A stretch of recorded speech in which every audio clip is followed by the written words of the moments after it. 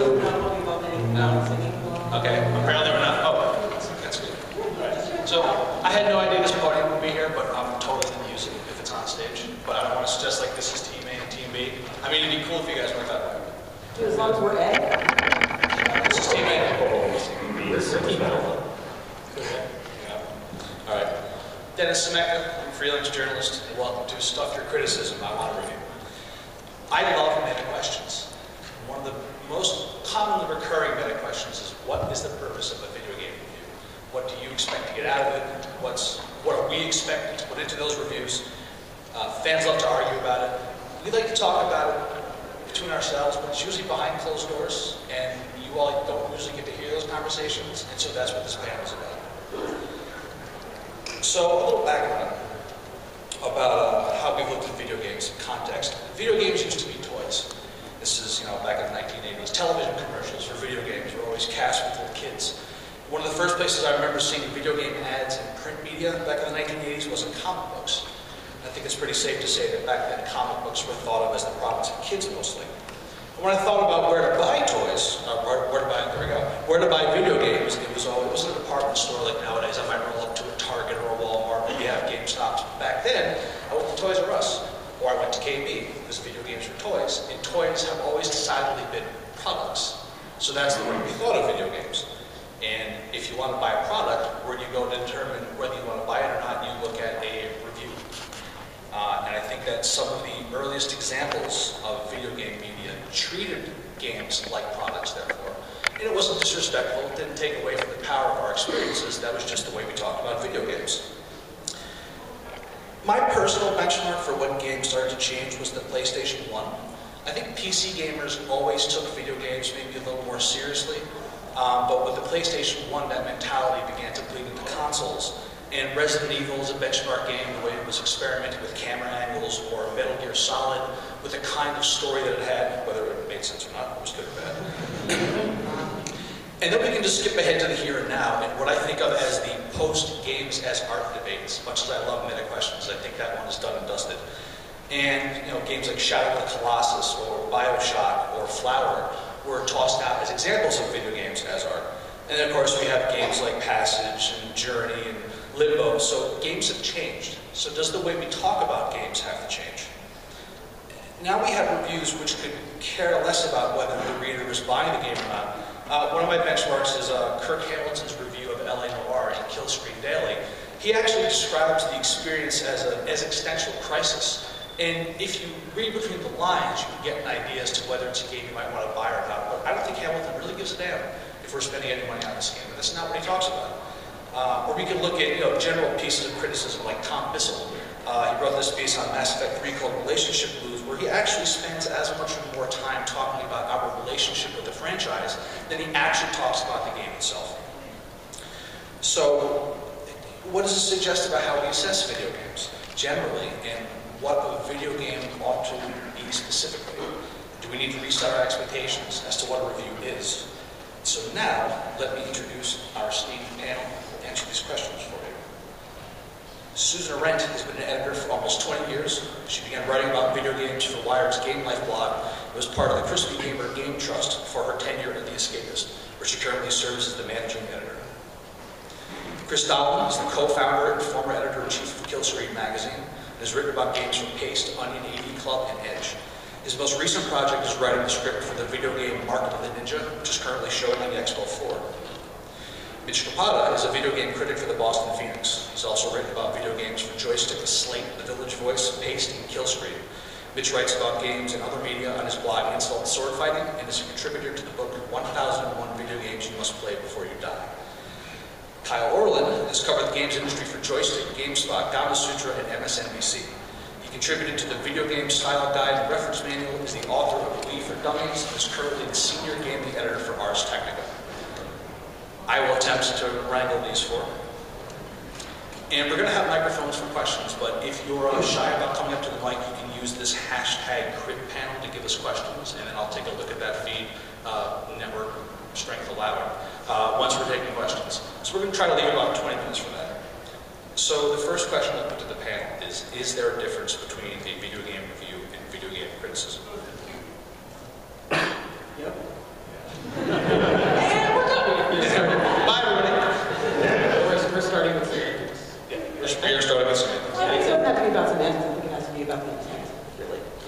say when I think of a review, I think of you know, the, like you said, a toy review, uh, saying whether or not you should buy it, and uh, a critique is more uh, what you got out of the experience and uh, uh, an original way of thinking about it. I, I think uh, for me, critique is always more about does the game succeed at what it's trying to do, which is utterly irrelevant to whether or not you might actually enjoy it. Uh, so it's more about the form of the game, is it successful, and how does it relate to the rest of the art form, as opposed to just, is it worth your 60 bucks? I would say that uh, with aggregators, Metacritic, Tetra has its many people are doing this. People who write reviews are going to have to do better and better things, do more criticism, and just sort of find some interesting take on it because the number they give it is just going to lumped into something.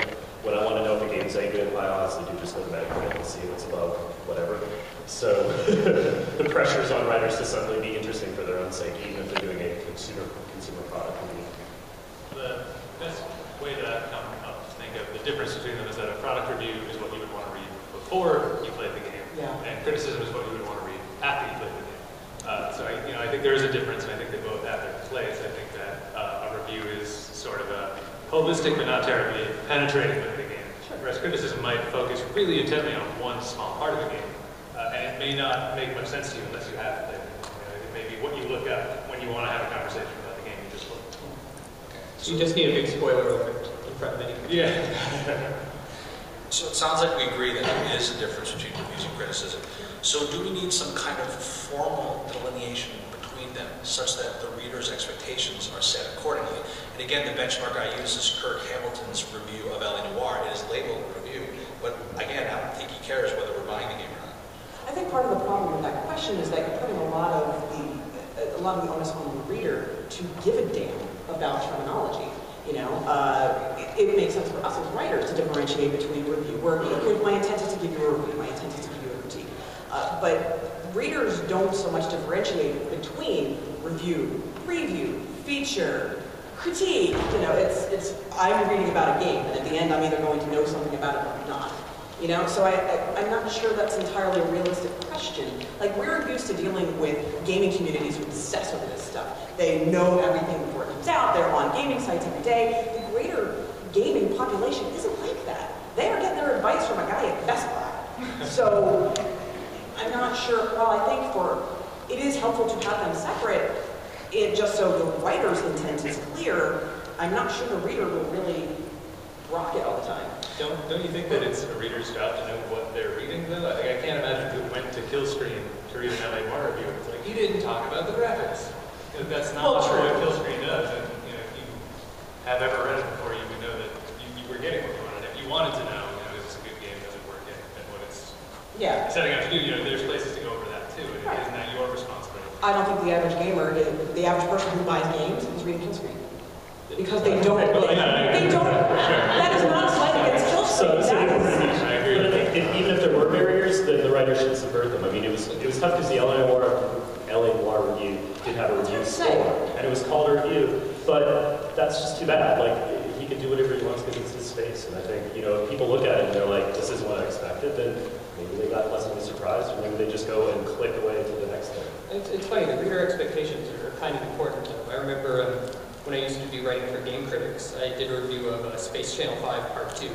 And it's, it's a lot uh, mechanically the same as the first game. So I said, uh, you know, this is like the first game. And I spent the whole rest of the review talking about um, how Ulala was a horrible journalist and uh, put her own opinions into everything. It was kind of tongue-in-cheek how, you know, her dancing was actually showed her lack of objectivity.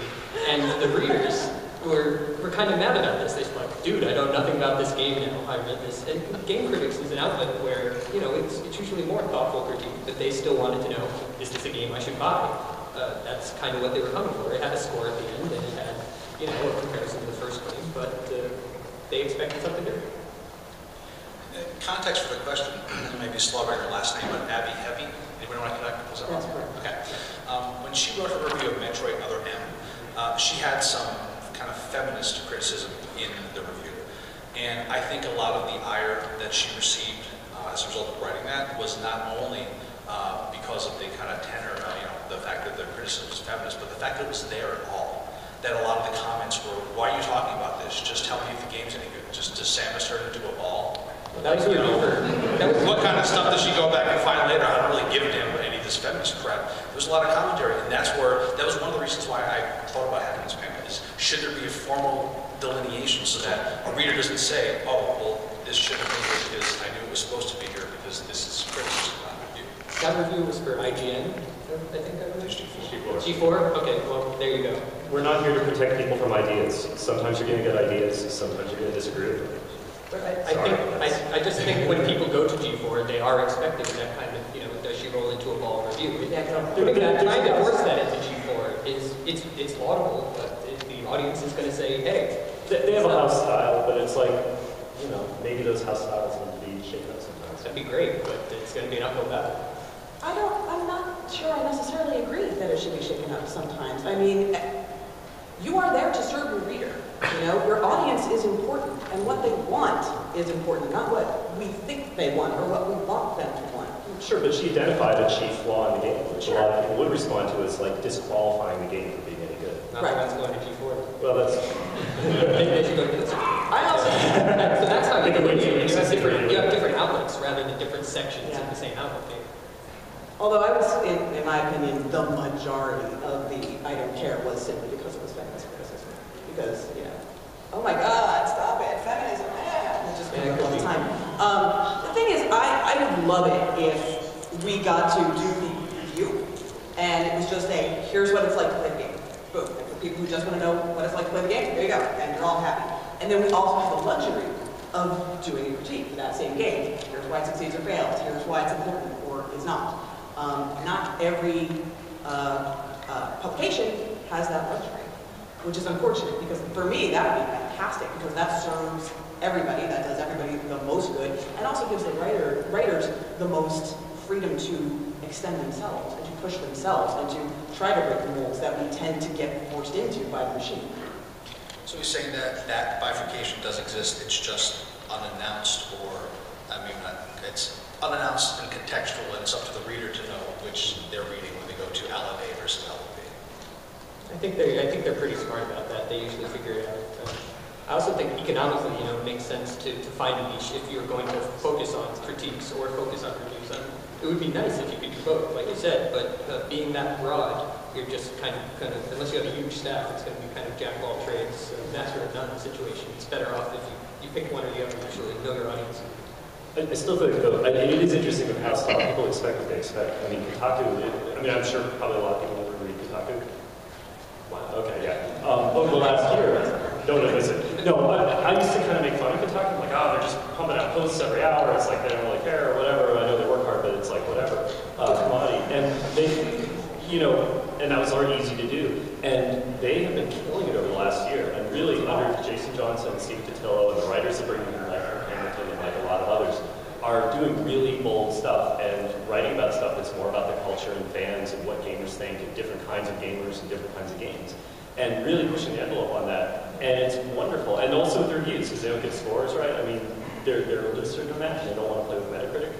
Um, they're doing wonderful stuff and they're pushing people. A lot of people reacted really negatively.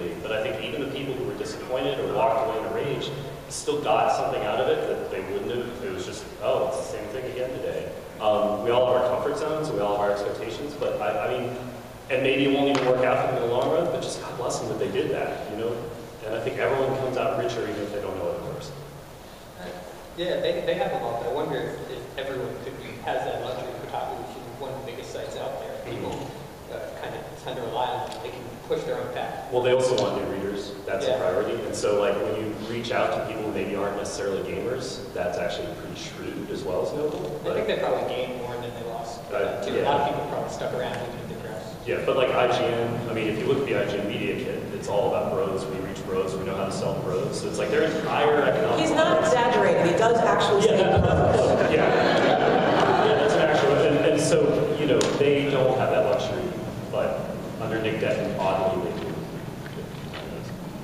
So, I mean, I think that actually speaks to what you were saying, Kyle, about G4 and having kind of, uh, people having expectations. That's a pretty big outlet too. So do they actually have the latitude to kind of question people's expectations and grow into different styles? Uh, they, they're in an odd position because they're associated with a kind of lowest common denominator cable network too that shows uh, reruns of cops and, and all that things. Uh, unless they're willing to really split the web presence for, away from that, you're always going to be tied to uh, Attack of the Show and uh, people watching something like that they're really not going to want a deeper criticism for the most part. I think our next panel might be what's wrong with cops. Do it back next time. If we can, uh, if we can, if we can sneak that by everyone. All right. Does the nature of an individual game limit the kind of discussion it supports? Should a reader look at a certain title and expect a review or expect criticism? Yeah, I think a reader is not going to know unless they've played the game. Probably. I mean, it, it definitely seems as though a different game will lend itself to a different kind of writing. We've seen that with Journey. Everybody sort of wrote diary style. Like this is how my journey went. This is how it made me feel. And if they did mention anything about mechanics or anything, sort of in passing, because that wasn't the purpose of the game. If you were reviewing a puzzle game, you would definitely not say, "I felt really, I felt something profound when I cleared that row of blocks." And you, you could do it. You would probably not do it very well. So yeah, I, I think so, but I think that if you're a reader, unless you have a lot of advanced knowledge, you're, you're not going to know necessarily what you want to get out of the review unless you know what the style is. It's not really a game, it's never where you're So I want to ask if anybody's ever had a profound experience by clearing a row of blocks. Shame of shame of hands. Right? Intelligent cube. Please step up to the mic when we start asking questions. Don't even tell me it wasn't a life-changing moment when you got your first Tetris, okay? Don't even. I actually wrote a critique Intelligent Cube based on how it made me feel. It's, uh, it's sort of like a stream of consciousness uh, dreamscape game where these, these blocks coming towards you, and it, when they crush you, it comes out, and then if, if you, you actually lose your footing and fall into the void. So, you know, it's, it's a really simple game mechanically, but there's a little bit more there. So you, it, I don't think you can bifurcate that easily where it's, oh, this is a simple game with just a review. This is a really complex game. Uh, it needs a worded critique. I, I do think though it's much easier with something like Journey or with like Passage and these kind of games. It's so easy to get ideas. And there's actually a specific problem, and some people are addressing like Hookshot, but it's hard to write about mobile games. We know there are a ton of important dollar games. I mean, like I love playing Ziggurat. I don't know if I could write more than 50 words about it, and I don't want to overwrite and try to paint it as some huge thing, which it's clearly not. But it does have a really good mechanic that's worth talking about. Um, that's a problem I haven't really seen people solve well. Yeah. Or something that's, that's more about the style or the genre, like a shmup. Yeah, to A talk shmup a about. shmup. You know, you either know it or you are not interested in it at all, really. Like, you know, you're not gonna win new people over to treasure, you know? But I, I feel like a good critique maybe could win, win new people over. You, you explain to them what makes this shmup so interesting to you in a way that even if they're, even if they don't understand it personally, you get through to them how it made you feel, why you got into it, and then they, they've learned.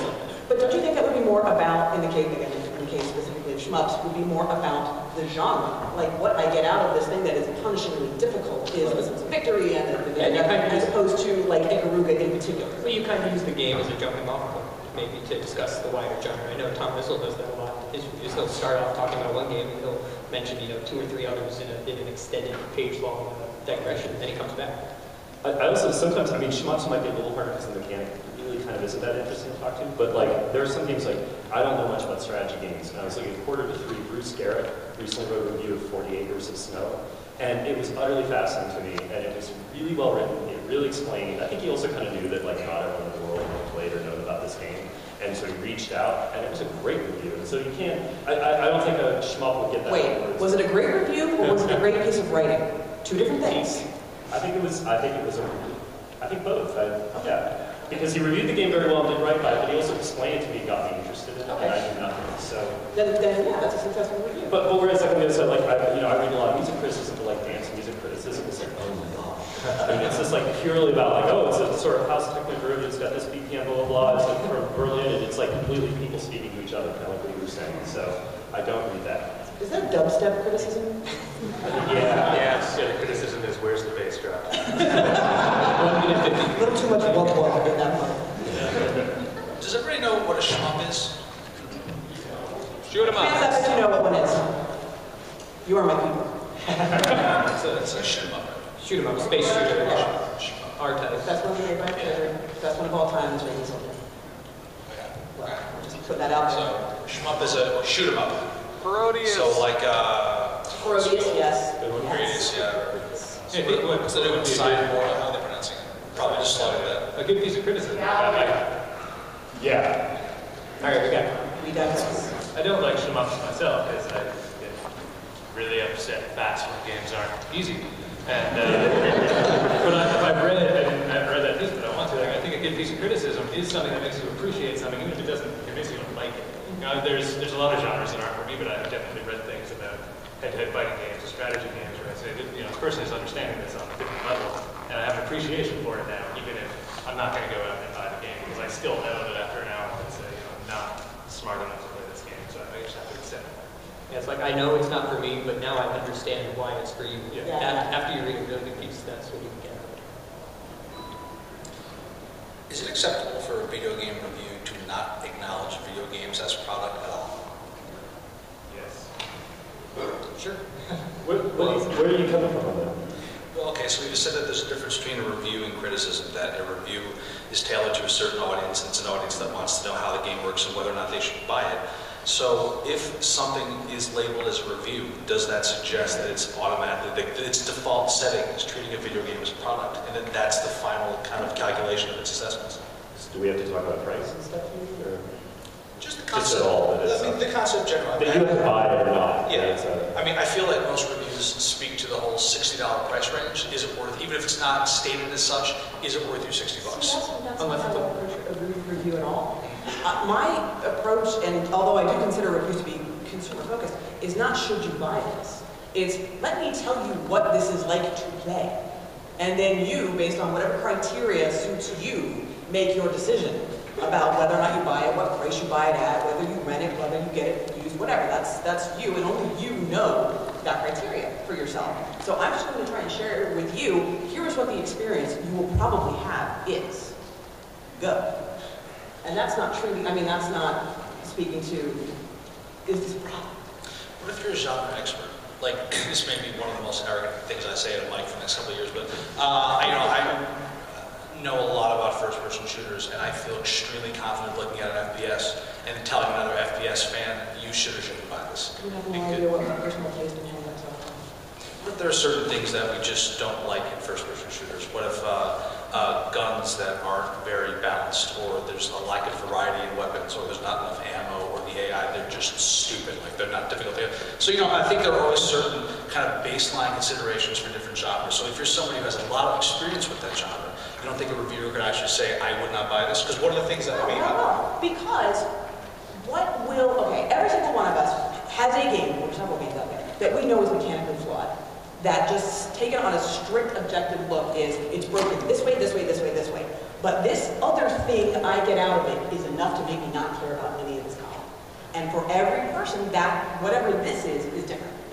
So it might be the setting, it might be the music, it might be characterization, it might be that it lets you craft, I don't know, whatever. Everybody has their thing that lets them forgive sins. So, so Susan, is what you're saying that you should just describe what the game is like and not give your opinion on what things were good or bad? Well, And- obviously, I mean, a review is based on opinion, I can tell you whether I think something works or not. You know, uh, just a journey is the the current uh, example, but, you know, I can tell you that I had a very emotional experience with it. And I can tell you, like, okay, yes, it has mechanics, but the mechanics are kind of incidental to the experience you are going to have. It is going to move you in a very personal way. And I can't tell you what that's going to be like, but I can tell you that it will affect you emotionally. You were just saying, you know, you don't know my angles, you don't know what I'm like, you can really only describe what you have. I'm, I'm not sure that you can actually say you are going to have this experience. Your experience is, going to be different. I didn't say that you were going to have the same experience I did, but that you were going to have an experience. I can't, I literally someone playing Journey and come, coming away from it completely blank.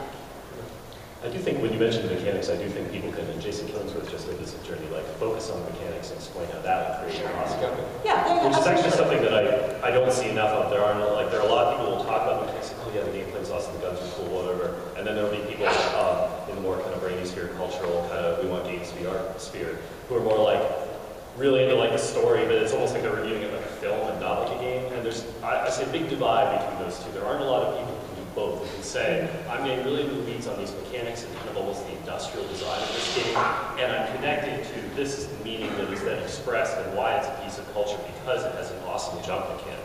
And Jason Killingsworth did just do this, but I don't see it very often. I, read that as well and thought he did, I don't know, a thousand plus words just about the jumping in Journey. And I actually thought that I learned more about Journey from that than from any of the other reviews that I read that used the word transcendent over and over. He, he explained the game in a way that was pertinent to me, yeah, that didn't rely on, on how I felt or, or in, in, in me empathizing with what he said, he felt when he played the game it didn't matter. He was kind of looking at it on a more concrete level. I thought that was a great piece of criticism. Didn't really read like a review, but some of the same aims. So I don't think this is what you meant, Susan, but it brought up this question. So when we're writing a review of a game or talking about its mechanics and how it functions, it's kind of this is these are the this is the input you are going to receive, which will inspire whatever experience you're having. That sounds something like bias neutrality. Something like I am going to, you know, I am the expert, I have the words fitting to describe this experience to you without your having a controller in your hand. Which kind of begs the question to me, is there such a thing as bias neutrality in review? Because I think this is something that not all fans, but a lot of fans ask for, that they just want a neutral or unbiased review. Is that even possible? That, that'd be the question for everybody. There's a lot of feigned neutrality. There's a lot of pretend neutrality. I don't think there is any real one. Expand on? Uh, I mean, I think like we, we all do have our own objectives and our own, uh, you know, from what we want out of a game, we all have our own biases, we all have our own baggage that we bring to a game. And, you know, your review shouldn't be about you, it should be about the game, but, you know, it should be clear that you, your, your opinion is based on certain facts and, and why, you know, why does something resonate with you and not with somebody else. Mean, what you're saying about, what you said actually, Susan, about broken games we love, I mean, I've been playing an awful lot of Syndicate, and I know it's not that good. If I was telling anybody about it, I would tell them all the reasons why it's not good, but I can't stop playing. And that's that's where I would have to do a better job than I can do right at this moment telling you why, because there is some sort of like some magic involved between the controller and the game. And I think I'm not even really sure what it is. I I feel like if you really want an objective review of a game, it, uh, it used to come in a package. It was called the instruction booklet. it would tell you the story. It tells you A jumps and B shoots, and uh, you got no opinion about it. it. This was, you know, what the game is. Uh, you've already bought the game at that point, so I guess it's not that useful. But uh, a, a truly objective review would be incredibly boring to read, just like an instruction booklet is, you know, kind of utilitarian and not really useful for uh, getting an opinion. Yeah, how would you, like, oh, these design decisions were good or they were bad? Um, you know, writers should be able to write with authority, and the reader knows that they can disagree with what they're reading or take another opinion. I mean, there is an objective thing, and again, it's Metacritic. That's as objective as you can get because it's the widest sampling of people responding to something. Um, you know, I mean, you can disagree with it, but something that got a 50 is certainly not as good as something in the 90s. And, you know, but writers, I mean, there was actually Simon Parkin gave Uncharted 3 and 8, and people went, that shit.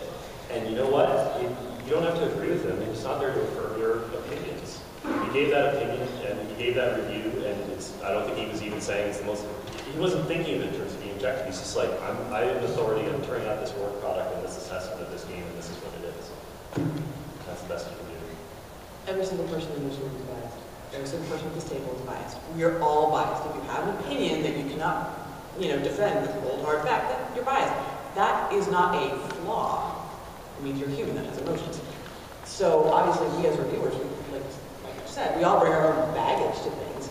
Uh, so that's why what is generally going to be the most helpful for a reader is to read a reviewer's work over a period of time to learn their recollections and their biases. Like everybody who reads my work knows that I love weird shit. And I love story-based games. So, you know, if, some, if something combines those two things, I'm going to freak out. If you don't like one or other of those things, you are not going to have the same reaction. And you can kind of tailor your, your uh, acceptance of a particular person's review once you understand it works. Chris, to speak to your point about reviews that uh, kind of focus on the mechanics and assessments of the mechanics, how they how they work, whether or not they work. Um, do you think a reason why we don't have more of that content being produced is it just because we have is it because we don't have a lot of practice doing it as writers, or is it because the audience doesn't have a lot of practice reading that material, such that no one thinks the audience is there? Uh, I think I think we, we've talked about how maybe we feel there's the market, so we tailor things for that, but I think the readers can, do it. I think it's I think it's something that just hasn't been successfully done as much. I think you have a lot of people that are really focusing on either, either the one or the other, on just like, oh, this is a really good FPS, it's good gameplay, or being like, I'm making some big cultural statement, and not as much being able to connect the two. And if you look at other disciplines like classical music, um, some of that's impenetrable, but like there's a guy, Alex Ross, writes at The Yorker, and he's a marvelous critic, and he'll go to a concert and read the score along with it, you know, and understand exactly what you're doing, the choices are made. But then he goes home and turns into a piece that someone like me who doesn't read sheet music can totally enjoy. And that's a beautiful thing. You can talk about the theory and about specific, really mechanical things, but explain why that makes this this unbelievably beautiful piece of music. And again, I don't think that, I think that it's in our power, and I think we that, I just think that we just aren't. And I don't know why. Um, I think it's really hard, and I think maybe game critics don't always know how games are made that well. Maybe there's a million other factors, but it's just not something, it's not maybe something we're pushing to do, and maybe something that we should do more. It's very hard, and, uh, you know, from a practical standpoint, I think uh, if you're an editor looking at the economics of this, uh, you, you could hire, you know, one superstar who knows all these things and is going to command a high rate, or you could hire, you know, uh, some 16-year-old kid to crank out the kind of reviews that are IGN and GameSpot, where they can review every game and just really give you, you know, the straight mechanics. And uh, on the web, well, one of those is probably going to make uh, a lot more money than the other. So it's uh, it- it's hard when that audience is improvement up there to really take that risk and and go for that uh, broader uh, cultural criticism. Do you think it's, so here's a question that might get me lynched by my panelists and colleagues, and then I'll have a question that might get me lynched by you guys. Um, do you think it's the responsibility of the games press to learn more about how video games are made, to open up those avenues of conversation? And let me just give an example. So um, I was going to write something about Skyrim, and how the hell could this game be a game of the year because it doesn't work, right? So many bugs, so many things were wrong. And then I went to GDC this year and I spent more time talking to developers. What I realized was that there was so much going on under the hood of Skyrim that was so difficult to pull off that, you know, I mean, when the, uh, like at DICE, they won awards at DICE, they award, won awards at GDC. And the reason why I won those awards was because there were mechanical things taking place under the hood that were so difficult to pull off that that kind of science of construction overrode the bugs. And maybe that was something I hadn't thought about because I was only looking at it from the perspective of a consumer who was having difficulty with, you know, certain piddly parts of the game. I mean, I got lucky. I didn't see like dragons flying backwards or like dead people coming to life and running around towns later, which actually happened to my wife. Um, so, you know, is it the responsibility of the Games Press to learn more about how games are made to either be able to uh, speak to criticisms or to tailor or to maybe mitigate our reactions to different problems and to be able to expand the way we write about games? Um, I think that, I think you can always learn more. And I think we, first of all, need to know our limitations. I mean, my one pet peeve, not everyone does this, but when someone writes a review, they're like, why didn't they do this? And it's like, there's probably an awfully good reason they didn't, but, um, but you don't know. And you might, you weren't there when they play tested it and it stank or it cost a billion dollars to do. Um, the industry certainly doesn't make I mean, I think there are a lot of ways, and I would recommend Anna Anthropy's book, Rising of the Video Games Users. It's a wonderful read, and it's very, very good if you've ever been curious about making a game. You just need someone to kind of give you a push, show you some tools, and tell you to get off your ass. Is an excellent book. Um, the, we it's in our power to make games, even pen and paper games. We could all do it, and we could learn a lot from that. But the industry doesn't make it easy. It's not like you could go to a AAA studio and they'll explain what went wrong or what they were doing or how anything works. Uh, you know, we go to these press appointments at like GDC or E3 where like you end up looking at a game and you're sitting with a publicist and you don't get to hold the controller. So it's like, no, you're not going to be able to ask about how the physics engine worked for them. So, you know, we could get more help from that. In a sense, though, I mean, it would be good to probably know more about game development. I don't know very much, but in a sense, it's also kind of too bad if, if this if they wanted to make it better and they didn't. That's true of every single game that you've ever played. They were all, they were all supposed to be great. They were all supposed to work. Most of them didn't do what they were supposed to do. Most of them didn't work. I mean, in the case of Skyrim, it's a game that obviously doesn't have a lot of flaws, and yet they also managed to achieve a whole lot that a lot of other people didn't achieve too. So, you know, like, that, how is it helpful in a review to say, you know, if only they had been able to not have this sound we come to life. And maybe a bug is, is kind of a, in Skyrim, maybe a bug that you don't want, is something that only happens to you, and it actually gives you a unique experience that nobody else had playing the game. Maybe that's an okay. Yeah, I- I'd say that it can be helpful to know in, general how games are made and just that uh, you know the limitations of, of games better and you know uh, what went into them better. But uh, I don't think you can use that as an excuse uh, for things like Skyrim. Like, oh, they worked really hard and they did a lot of stuff. But if those bugs make the game unplayable for you, all that matters is the final product. You can't just go back and say, well, it happened because of this, so come on, give them a break. Uh, I don't think many people would very helpful when, uh, when you're engaging with your community. Um, the, for me, the process of review is ongoing dialogue with the readers. And the more I know about the overall uh, development process and then uh, the machinery that makes a game, when they bring up complaints like, how could you possibly publish this game with when it has so many bugs? Well, I can tell you that. And let's have a dialogue about that. And you can either then, as a reader, decide that you think I'm or you can say, oh, okay, I see where you're coming from, and I can add that perspective to my overall evaluation, how helpful this is for me. I chose just not to write that column. Okay. Um, Okay, so here's the question. So the first headline was Dennis Scimeca says games journalists don't know enough about how games are made. Um, so here's the, here's the second. If we're tailoring, I think it's the responsibility of the Games Press to kind of take responsibility in growing criticism. Um, I think in uh, film, you had, I'm probably going to mis- mispronounce this, Cahiers du Cinema, which was a magazine which was filmmakers speaking to other filmmakers, and that led to an expansion of kind of the language and appreciation of film. Uh, we don't really have that in video games. We don't have any magazines where developers are talking to developers all the time. We do have the video game press. So I kind of see us as the custodians of the uh, kind of, you know, uh, growth of criticism.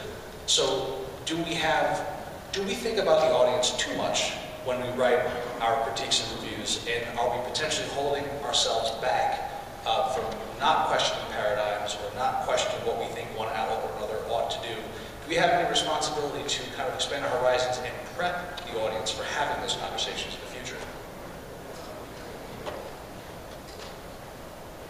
Did you restate the question? oh my God, seriously? Word for word. I, I disagree with you on one point.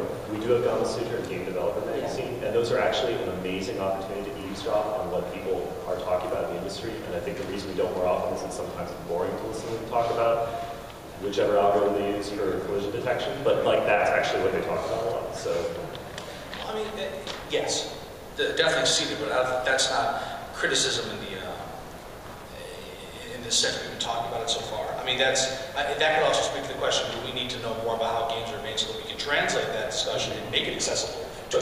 But you were talking about like filmmakers talking to filmmakers, and that's developers talking to developers. If you read a, a good post in there and then the Yeah. comments, that's that is what that They is. get kind of down into the weeds. I, I didn't understand what you were saying about us telling, speaking to other publications and telling them. No, no. Uh, the idea that, so it sounds like we've established that certain publications have a certain house style, or we have expectations of what the audience is coming to those outlets for, and perhaps we limit ourselves, we limit what we write or how we write into because we think we're playing into that. And could that be worrying about the audience too much and limiting ourselves, and in the process, kind of retarding the process of expanding the way we talk about games. And it, you know, as and I think that's a precursor to getting the audience ready to have those conversations in wider venues. So do we worry too much? There's no such thing as worrying too much about your games. They're your lifeblood. They are why you exist. Otherwise, you get a blog and you're talking to nobody. So I think it's important to constantly be thinking about how can I find new and entertaining ways to inform my audience? How can I keep from falling into a rut? How can I, you know, maintain, you know, integrity and, and keep their attention and still help them? But the idea that you can do that too much baffles me. Well, it can be hard though, because what the readers say they want and what the readers actually want uh, can often be different, uh, I find. Or even what, what they say they want and what they don't know that they want. I agree with that. As Steve agree with Jobs that. would say, you know. Yeah. uh, So there- there's some value, I think, in experimenting and trying to uh, broaden those horizons, but uh, economically, it's, it's pretty tough to try and sell something to an audience that, that hasn't been proven, you know. Uh, There's, there's going to have to be that one breakthrough uh, publication, I think, that purely focuses on critiques and uh, doesn't really deal with the product side at all and uh, makes it successful uh, economically, then people will be more confident. Which there have been several kinds, including the escapist illustrating sort of crispy game.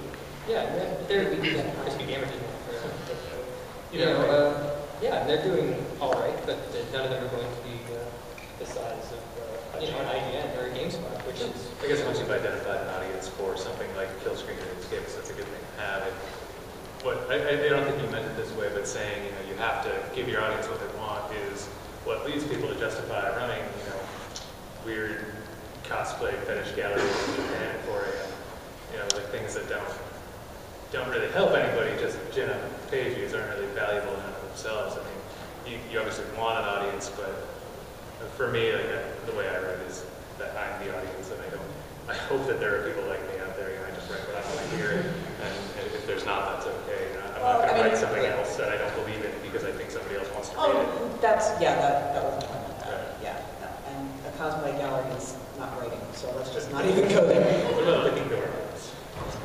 Okay, good job. But it, it can be tough though if it's your if it's your job and the audience is demanding something. You know, they want you to cover X game, and you're like, uh, well, I looked at X game, and there's really not uh, much there to it. So it you, but you still have to write something about it. And the audience is, you know, almost demanding that you know you like it. If you don't, you're going to piss them off, it takes uh, real skill to manage those audience expectations sometimes. And, uh, not uh, not throw out the baby with the bathwater. Dude, no, I, okay, I am uh, apparently uh, incredibly corrupt because I liked Uncharted 3 too much. How dare you? I know. And uh, Mass Effect at all. So, it, you know, it's, when I say giving the audience what they want, I don't mean specifically like, cosplay gallery because you love boobs and stuff like that. I think you should experiment and give in, uh, you know, new ideas, new presentations, but not completely say, well, I don't feel like doing this kind of review anymore, so screw you if you don't like it. You know, that's not going to be helpful. And I think it's very important. Kyle keeps bringing up the economics of the situation, and yeah, we've got to keep the lights on. There are certain practical realities we have to deal with. I mean, there's theory and idealized, you know, notions about how we should be talking about this stuff, but you gotta have an audience, you gotta pay bills. I, I do think though that, and, and the pace and how you do it can differ, and no one's figured it out yet. But you would clear there's probably like people who love games, love games, and there's this avid community of people that like in this building, and they love games and they understand games. And then everyone else in the world, there are a lot of people who don't. And um, you know, I follow the mainstream press a lot. Sometimes they really get right these marvelous profiles of game creators. Like, okay, Jonah Weiner on Dwarf Fortress last year in the New York Times Magazine, amazing piece. Even if you don't like Dwarf Fortress, go read this piece. This Sunday, the New York Times Magazine was a cover story about quote unquote stupid games. That was so bad, dude. It's such a bad Oh piece. He's not a bad writer. I'm not trying to diss another writer, but like it was just this kind of really mean-spirited, condescending thing where he's just like, Angry Birds and all these games, one dollar games are kind of stupid. And then he interviews Zach Gage, who's amazing, but then just kind of just throws it in there. It's like, dude, you're lucky you're talking to Zach Gage. And it's just like thoughtless. And um, but we know that it comes from the perspective that sometimes the New York Times Magazine runs lifestyle things that they know their audience will relate to and be like, yeah, I kind of waste too much time playing Angry Birds too. Why do I do that? So bring all that up. There's this divide, right? Games are not part of the larger culture, really. They kind of maybe are leaking that way. People are getting interested. The iPhone is helping, but they're separate. And it's not like movies where you could have a movie about blue-skinned aliens on this planet and everyone will go see that. Games, you know, games are sort of torn. There, may be sort of more, they're a little wider than maybe like comic books, which are definitely in their own ghetto right now, unfortunately. But they're not at the movie stage. And I think one of the things that we can do as game journalists is to help bridge that gap, to bring all these people who also buy things, so advertising dollars or whatsoever, bring them in, and also help the gamers maybe be interested in things other than games, because sometimes they're not. But uh, that requires the audience to sort of come looking for it sometimes. If, especially, You tempt you lure them in, that's what we do, we hook them, and then it's sort of like, boy, I didn't know I cared about that. Now all of a sudden I'm totally hooked. that's fine. And if you're writing for the New York Times, you can do that. You're right, you have the mainstream audience there. If you're writing for uh, you know a site that already just caters directly to gamers, I'm not sure the New York Times readers are even going to know that's there. If that's some you know, great PR team or something that's trying to reach out. Yeah, but I mean, I do think, I do think that, I mean, like, that, that they ran an article about Dwarf Fortress in the New York Times Magazine blows my mind so wide open that it's sort of like, and there are people who walked away from that taking games more seriously, and the people who make them more seriously, even more. Right, but if they wrote that piece uh, for Kotaku, do you think the New York Times Magazine audience would suddenly start reading Kotaku? I think Kotaku wants the New York Times Magazine audience. But would they, would, would that they will find ways to get it, and I think they're looking right now. Fair. Dude, I want the New York Times audience. Who doesn't? Well, speaking of the audience which already cares about video games, uh, we want to leave some time for questions. I think we have two mics to pass around. Uh, Can we get those? I hear they come from the back, one on the right, one on the left. I guess put your hands up. Wait, around the person here? No love for that? Oh. Oh yeah, actually, you know, can we just get everyone to line up like behind those like gray stripes there, just to make sure that we can uh, make things easier for the enforcers and they can walk the mics in line. I mean, I'd love to see everybody fight over them. That's probably not very cool.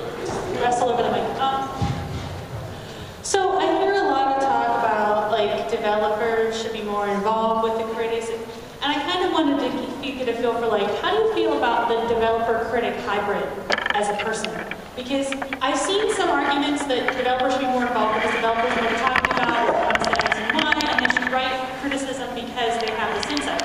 But I've also seen arguments that that's kind of incestuous and it kind of leads to a sort of weird bias on behalf of the developer that feels. so. How do you feel about that? I think a critic who goes to work on a 2D Ninja Stealth game is a total sellout. Totally. Uh, You have to be ethical and honest, but, um, and I'm curtailed a lot of my writing just to say because I'm working on a game, but, Right. and maybe I was just stupid before I did this, but I learned so much more from being exposed to the inner workings of this process than I knew beforehand. But I could have just been stupid, so I'm not saying everyone has to do that. You're not stupid, Chris. So it's definitely a positive thing. Yeah, but I understand what you mean, that like people do get kind of, there are always fears of kind of journalists getting in bed with companies in different ways, either be it the junkets that they'll fly you somewhere and spend a lot of money on you, or any number of other ways, and you just have to, that's just something a professional journalism organization has to manage always. I guess is kind of my blanket answer.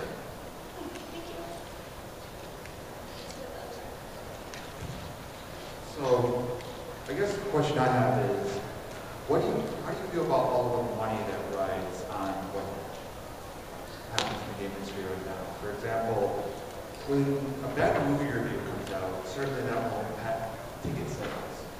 But that doesn't mean the team on the movie necessarily makes at the time. I certainly heard from you know, friends in the industry that Metacritic reviews, if you don't make a certain percentage in Metacritic, that's a direct hit to your rating. So the question, if anybody didn't hear it, was to what degree should we be concerned about the economic repercussions of our reviews? Yes. Okay.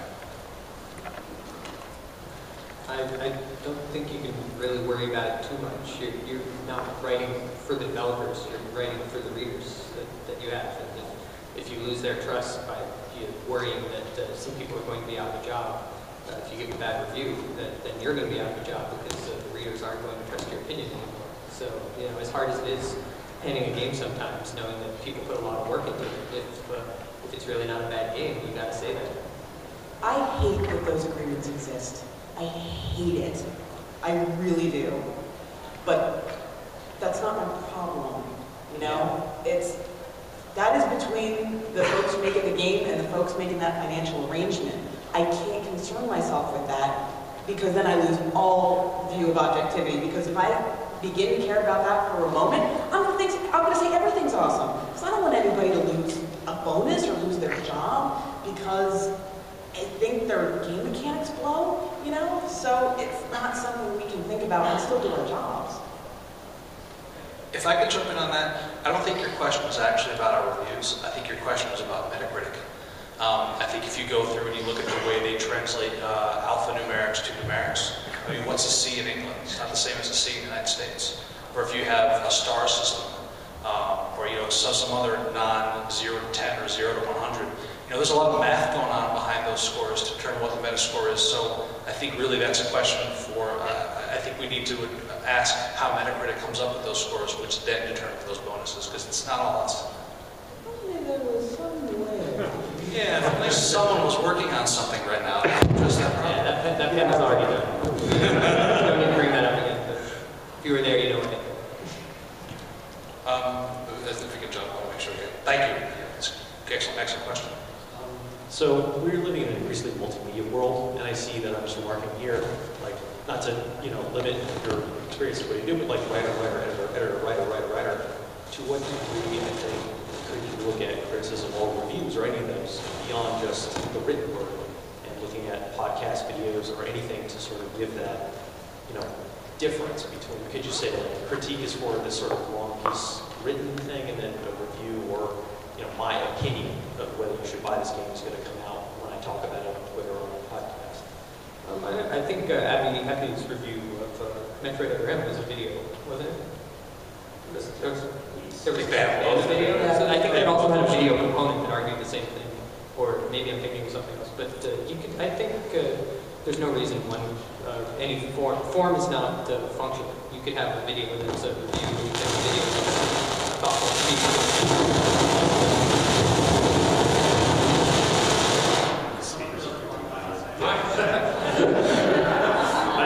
I, I, I totally, we should do more of that. There are some really, there are some really good people who, I, I know, well, you can talk about Officially a critic. I also, have you ever played the game Press X to Jason? I mean, I think games tend to be games, so yeah, you're right, we do need more of that. If, if you read my review of Amy, it's a, it's a pretty standard review, and you get the idea. If you hear the podcast I did about Amy, you begin to really understand my age. So one can definitely supplement the other, uh, and I think it's great when you have that luxury to be able to do that, and when you have people who are willing to put all the various pieces together to get the whole picture. Speaking of uh, multimedia, let me take one here. Um, Okay, this should be uh, incendiary. What is your opinion of the role of user player reviews and or criticism? Uh, Step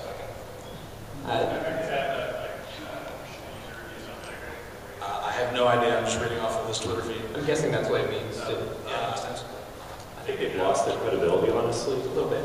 A, a, a kind of a lot. Every time I go on and there's like a, a, a game like Dragon Age or whatever, I can't remember another recent one that has like a 3.0 user score, you know that's not serious.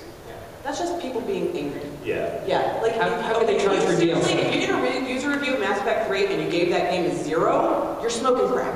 Okay? I understand you're pissed about it. I respect that you're pissed about it. The game does not deserve a zero. Yeah, it's a form of protest. They're not really Yeah. uh, doing it for anyone else's benefit. They're just expressing their rage. They're not expecting someone to read this and say, oh, uh, you know, hot guy X69 thought uh, it was a 0 out of 10. I'm not going to play this game. No, they're, they're just making, they're just throwing their voice out into the ether. Yeah, and, and I will just say, because I am actually, I usually do feel super democratic about if users have really good comments, if users have really good statements anywhere or on a blog, that I find that pretty credible. I think the best reviews of Demon's Souls were the walkthroughs I was reading, that like someone just assembled and it's like, wow.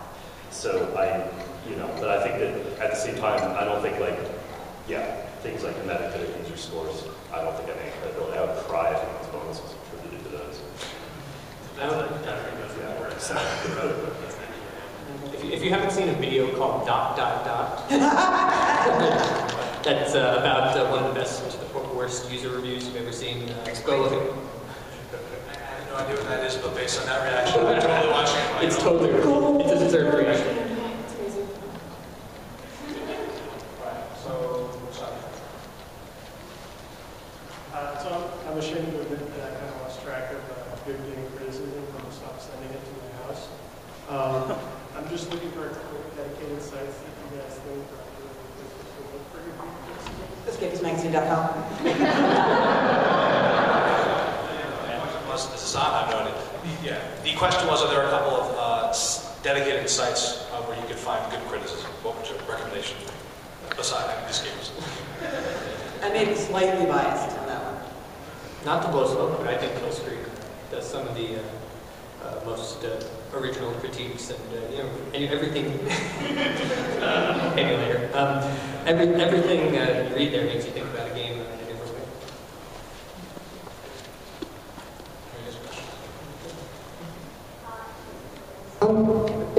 Hi, I have a question about like, what's your opinion on humor in criticism? Like, you can't write a page long, not even a review, but if you're just purposely criticism, you can't write a page long on Fusion Frenzy 12, The Return or something. So what's your guys' opinion on people putting humor in criticisms and, and reviews to fill up space or stuff like that? Uh, it's not great if it's just there to fill up space. It's great if it kind of flows naturally from what you're writing about the game. If, if you're trying too hard to just make it funny, that, that can be okay, but then you're not really writing a review or criticism. You're just writing a, a humor column, which has its place, but it's different from. It's different. Uh, I, I should probably deal with Yahtzee in this one.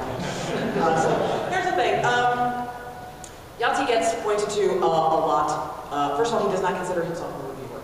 Okay? He calls himself a critic.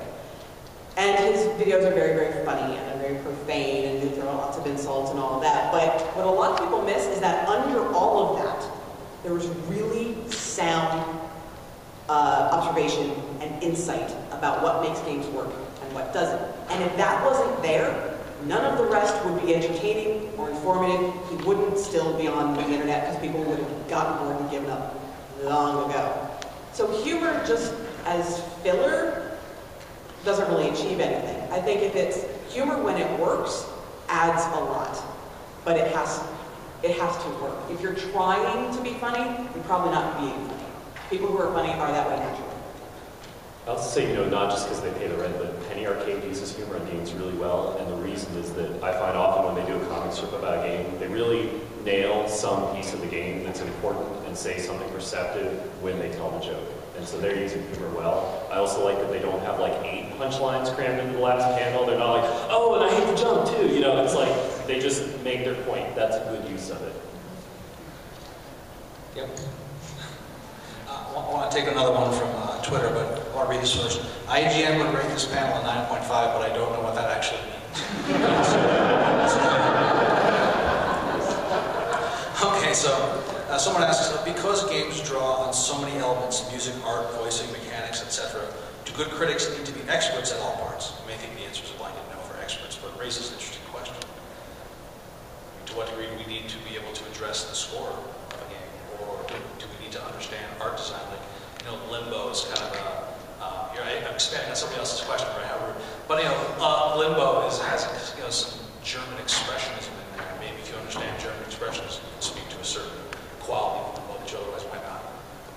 But anyway. It can't hurt, but uh, I don't think it's, it's necessary to know everything about every element of every game to be able to say something about every game. Uh, you bring you bring your knowledge into it, and you share that knowledge through your writing. Uh, the more knowledge you have, the more you can share. But, uh, but that doesn't mean you have to be uh, an expert at every video game ever made or every work of art ever made, because no one is. Well, the player's not going to be an expert on all those things.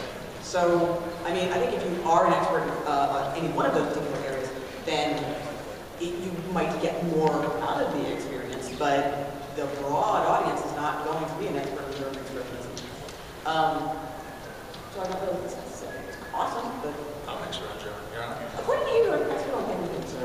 Yes, I'm an expert on everything. No. Um, I think the key is just don't don't pretend you're an expert in something that you're not, Yeah. and know when you're not. That's good, right? So if you're like Michael Abbott is an amazing. Uh, he's he's a, the chair of the drama department at Wabash College, and he writes an amazing blog, BrainyGamer.com. He knows acting, so when he talks about voice acting, that's awesome. But if you don't really know it, and you're just like, oh, I don't know it, then that's not really valid. uh, question for Ray.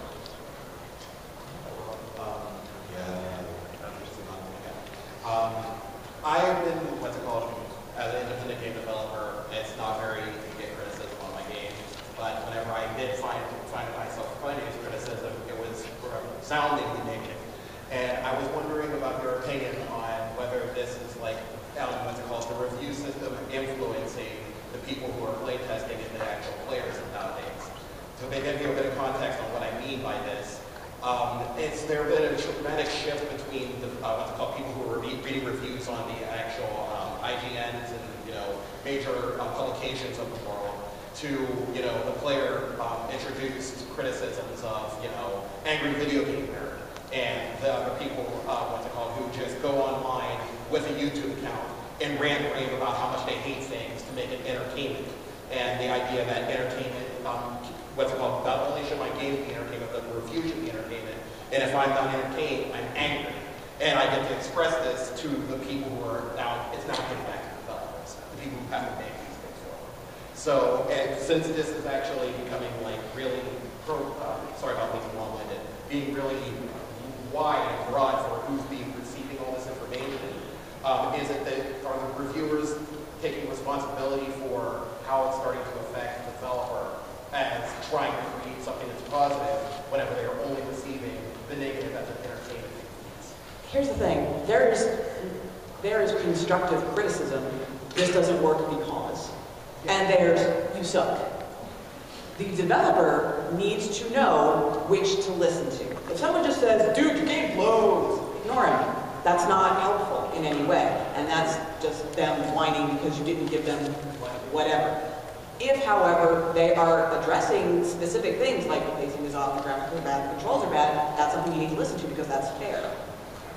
I, I think what you might be asking about, though, is how, you know, this kind of snarky attitude has kind of infected large parts of the game journalism Sure, yeah. world, and, you know, it's hard for anything positive to really even get readership, because, uh, you know, oh, if you like the game, that's a boring review, but if you're, you're snarking on a game, oh, that's fun, I get to see a takedown, so I, I can see a little bit to that, actually.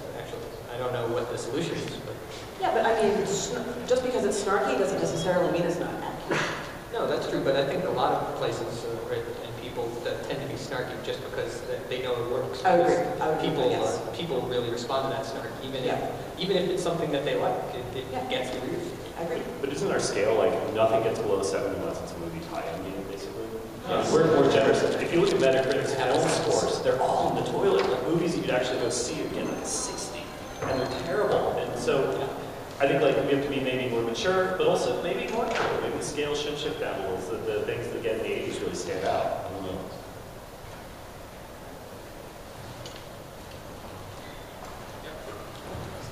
How do you draw the difference between what belongs in a review and what belongs in a criticism? Like, where do you draw draw the line between something that makes the game worth buying, what opens it up for discussion, or what's just pointless nitpicking? Just for the record, we're going to make that our last one, so make it good, guys. Uh, you know, one person's nitpicking is another person's critical flaw. Yeah. I Yeah. know they know that. Uh, but, you know, I think there's not, you're not going to be allowed to spare criticism, you're not going to be allowed to or review. Um, but I think that, you know, any review is going to prioritize a different work of the game over another one.